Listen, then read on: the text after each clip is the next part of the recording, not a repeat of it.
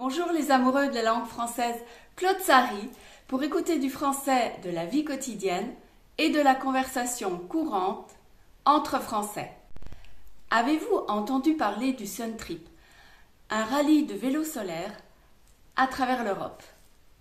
Je vais rencontrer Stéphane qui expose à Dijon des photos de son voyage en Europe avec son vélo solaire l'année dernière pendant l'été 2021. C'est vraiment un vélo particulier, propulsé à la fois par l'énergie musculaire du cycliste et par l'énergie du soleil. Tout comme le marin adapte sa route maritime en fonction des vents et des courants, le cycliste doit adapter sa route aux conditions météorologiques. Mais je laisse Stéphane vous en parler. Un vélo solaire, c'est un vélo électrique euh, dont la batterie est rechargée par des panneaux solaires. Alors il y en a de toutes les sortes, des vélos classiques avec euh, des remorques, des vélos couchés, des vélos, des tricycles très spéciaux, et puis même des vélos encore plus particuliers ça s'appelle des vélos mobiles et c'est des vélos qui ont une carrosserie autour pour les rendre plus aérodynamiques. Euh, Stéphane, est-ce que tu pourrais m'expliquer en gros euh, ce que c'est que le Sun Trip et quand est-ce que tu as fait ce voyage? Est-ce qu'il y avait des étapes obligées? Voilà, est-ce que tu peux m'en parler un petit peu s'il te plaît? Alors, euh, le Sun Trip, c'est un rallye de vélo solaire. Le Sun Trip, en 2021, il avait un parcours tout autour de l'Europe. On est tous partis de Bruxelles parce que la Commission européenne était partenaire du projet et on est parti en direction de Riga, la capitale de la Lettonie, qui était le premier point de passage obligé, le premier checkpoint.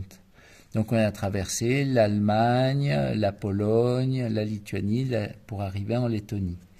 Et ensuite, on est redescendu plus dans le sud de l'Europe, à travers la Pologne, euh, la Slovaquie, la Hongrie et la Roumanie. Et le deuxième checkpoint, le deuxième point de passage obligé, c'était Constanta en Roumanie, au bord de la mer Noire.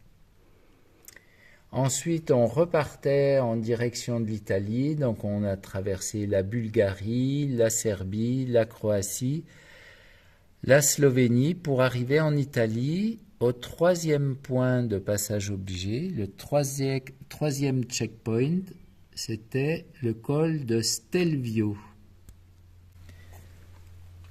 Et puis finalement, euh, on repassait par la France et les plus courageux d'entre nous sont passés en Espagne, au Portugal pour revenir à Lyon. Et nous, avec euh, mon coéquipier Jean-Louis, on s'est arrêté à Lyon. On avait fait 8600 km et c'était déjà bien. Euh, le départ s'est passé euh, devant la Commission européenne. On avait une petite cérémonie avec les officiels qui euh, donc euh, disait pourquoi ils étaient partenaires de ce projet du Sun Trip pour montrer toute la capacité du vélo solaire à parcourir de grandes distances. Stéphane, est-ce que tu peux me dire combien de kilomètres tu faisais à peu près en moyenne chaque jour?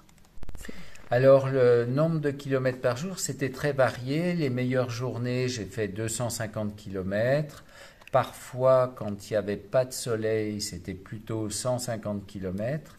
Et puis parfois, c'était 5 euh, kilomètres, comme par exemple ici, parce que à peine parti du camping à 6 heures du matin, euh, ma remorque s'est cassée et j'ai passé toute la journée à trouver des solutions pour la réparer.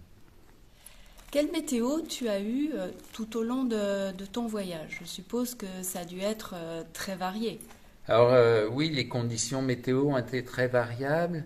C'était très gris en Pologne, plus ensoleillé en Lituanie, bien que là on voit un gros orage et j'ai essuyé l'orage évidemment. C'était assez, assez difficile. Il y a eu aussi en Roumanie des grosses chaleurs, 38 degrés, où là, il n'y avait pas de problème, les panneaux solaires produisaient bien, mais c'était un peu fatigant pour le cycliste. Il y a un matin où je rigolais pas sous la tente parce que je rêvais de plage. Et en fait, euh, quand je me suis réveillé, je nageais tout à fait dans l'eau. Il y avait 10 cm d'eau dans ma tente. En Roumanie, on a eu euh, souvent très très chaud. Et là, je dois dire que j'étais très content d'être invité par des hommes qui étaient en train de siroter sous une tonnelle. Alors, ils voulaient que je boive de l'alcool, mais j'ai quand même préféré du soda parce que je leur expliquais qu'il fallait que je trace la route bien droit. Au cours de, ton périple, euh, est-ce que tu pourrais me dire quel pays tu as préféré traverser?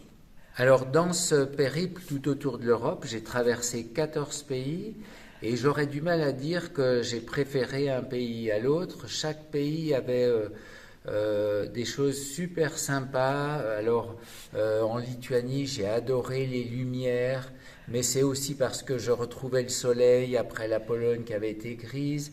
J'avais aimé beaucoup l'architecture en Pologne. Euh, j'ai beaucoup aimé les rencontres en Roumanie, j'ai beaucoup aimé les montagnes en Italie. Là, en Slovénie, ce que j'ai apprécié, c'était les rencontres.